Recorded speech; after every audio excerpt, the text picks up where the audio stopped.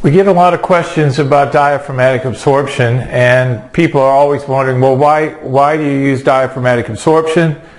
Um, why is it better than, than other technologies out there? Um, and tell us a little bit about how it works. Well, I think when we, we go through this example, um, you'll, you'll get a pretty good idea of, of how it works. And we think pound for pound, it's the most powerful absorption technology, uh, been used for years.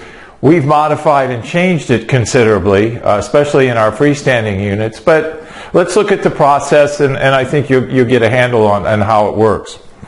When sound energy is in our room and it strikes the construction of the unit, diaphragmatic absorber, we have, in our product, we have two walls on the front. Now these walls uh, took us a long time to figure out the thickness and the density and even how to mount them so that they do move. Now, when I say move, I mean if you look at them, you can't see them moving. They're not a diaphragm in the, in the same way that a speaker is. You know, it's, it's not a transducer.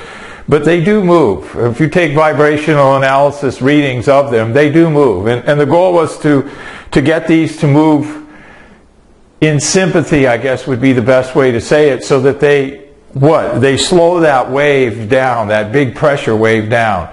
Remember from past uh, videos, the, the low frequency waves are very long.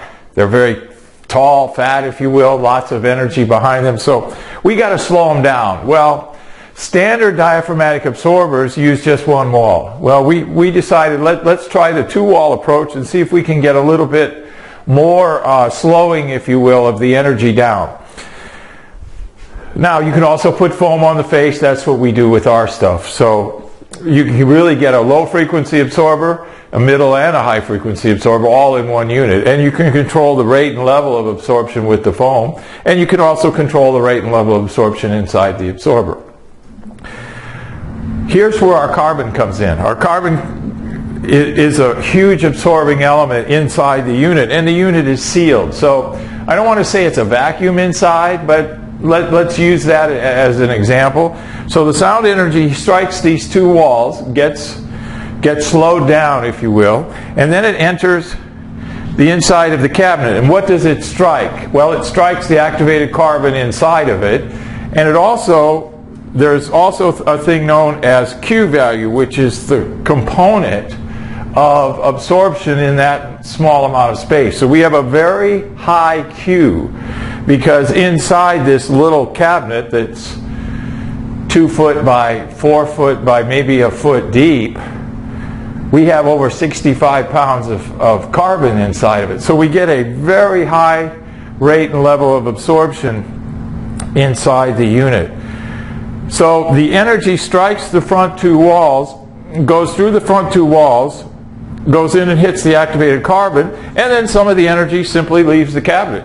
I mean, you cannot contain all the energy. This is why the term bass trap is really misleading because nothing really traps bass. Nothing really stops it.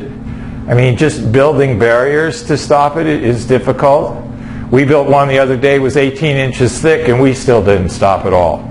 So it's it's managed is the, is the word we're looking for. We want to manage reduce the amplitude, reduce the excess energy, and with the other variables in the room, try to, to get a, a smooth curve, a smoother uh, frequency response curve.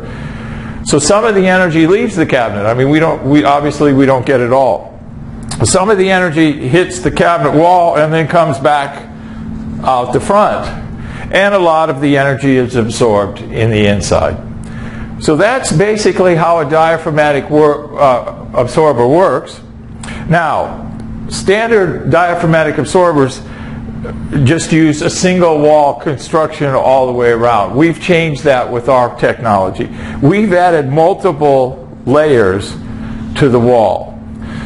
Why? And we separated each layer with a damping compound. So we we want to make the cabinet with our diaphragmatic absorber as rigid as possible. What does that do? Well, we all know with speaker cabinets that rigid cabinets don't move as much. If they don't move, they don't produce sound because vibrations produce sound. So we want our cabinet to be uh, as rigid as possible. In fact, we use seven layers of material in our cabinets. So our cabinet is very inert. It doesn't move. It forces, by being so inert and not moving, it forces our two walls to move more. So we make the cabinet more rigid, we make the cabinet stronger, and that forces the two front walls to work more when sound pressure energy strikes them. So we get a greater slowing, if you will, at the beginning of the whole sound process with diaphragmatic absorption. So diaphragmatic absorption has been around for years. It's time tested and proven. People use it a lot. We've taken it, I think, two or three or maybe four steps farther and really um, give it some uh, horsepower, if you will, uh, to it.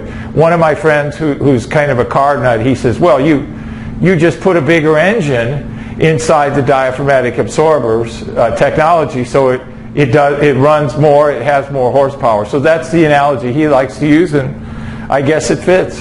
Thank you.